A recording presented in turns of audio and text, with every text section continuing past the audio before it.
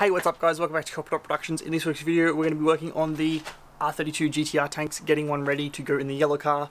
By getting it ready, I mean replacing these uh, horrible tabs that have broken off, gone brittle over time and snapped away. To be replacing them with some metal ones that'll sort of screw in, be JB welded in, and uh, not break again. Unfortunately, I have to get a new one of these because this one's cracked on the bottom. Could probably JB weld it back together, but don't really want to do that, don't want to risk leaking fuel fumes and burning down my car on track or something like that. So we can't get the tank in today, we'll get it as far along as we possibly can. Let's jump into it and see what we can get done. You.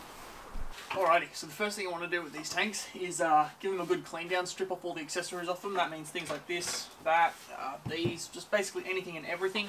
Uh, most specifically these nasty tabs, or what's left of them more like. Um, give them a good spray down with a gurney and give them a good evaluation, see what we're really working with and uh, see which one's going to be better suited to the black car and to the yellow car and then from there put one of them aside and focus on just the one that we're going to be putting in the yellow car. So first thing I'm going to do, spray down the gurney and uh, that literally just break off plastic inside? I think it did. Anyway, yeah, first thing I'm going to do, spray down with the gurney and uh, go from there.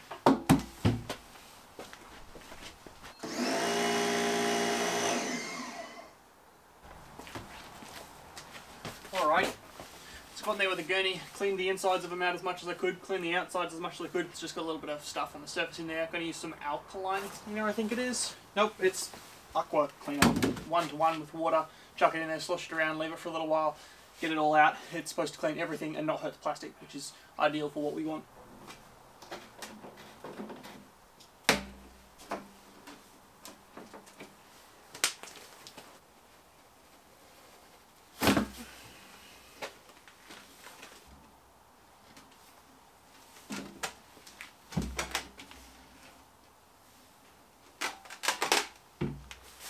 Think we use this one for the yellow car just because it's um, a little bit rougher on the bottom and I'd rather save the better one for the black car.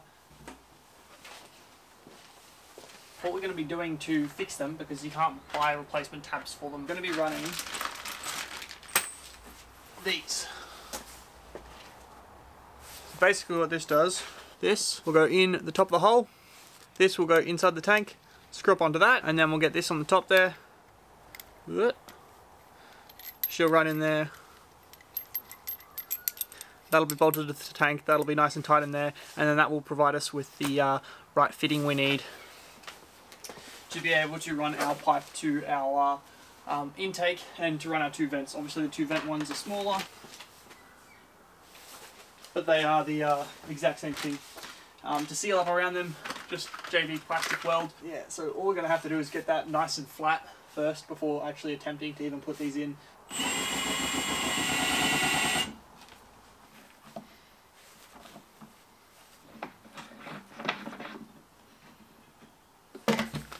Just like that.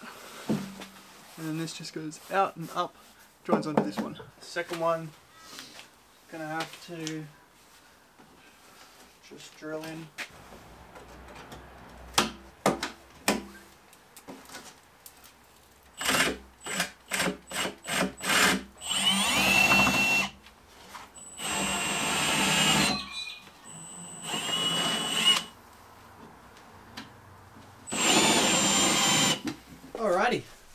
each one is drilled, set in the right place, and that is pretty much how each one is going to go. So what I'll actually do now is uh, take all the tabs out now that the holes are drilled and all that sort of stuff. The inside of the tank is still dirty and of course it's going to have all those little bits of plastic in there from drilling the holes and cleaning them. So I'll fill it up with that cleaner aqua whatever stuff that is. Um, let it sit for a while, rinse it around again, pour it all out, uh, let it dry and then uh, I'll go over, chuck some epoxy on it, put them in place permanently and um, that'll be it.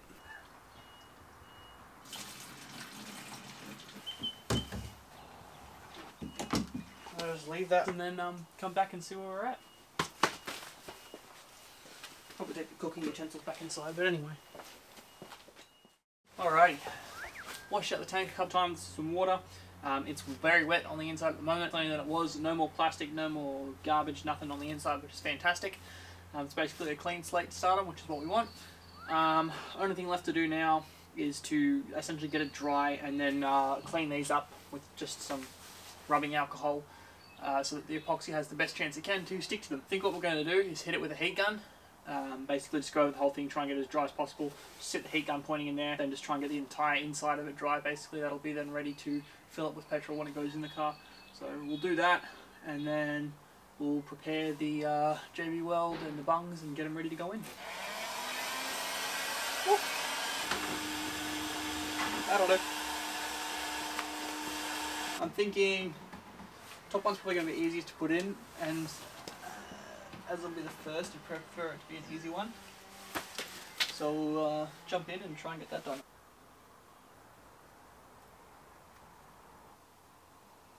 Yeah, I think that's pretty much as good as it's going to get. I'm going to lay this down flat so that it stops running. I'm pretty happy with how it is at the moment and if it dries like that I'm more than confident it'll get a good seal.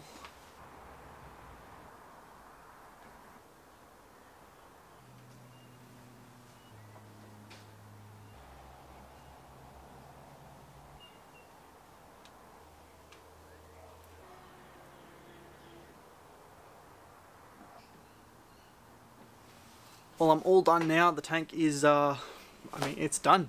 Uh, all I have to do is wait for the epoxy to dry, uh, readjust the direction of those top parts. Those top parts themselves will have some special tape around it that also has to be petroleum resistant, um, but then they'll be facing the right direction firstly uh, and also petrol proof. So it's done as far as we can get it today. I have to wait overnight for that epoxy to dry properly. It says 30 minutes to set, but it's like, you know, it's always 24 hours to fully cure.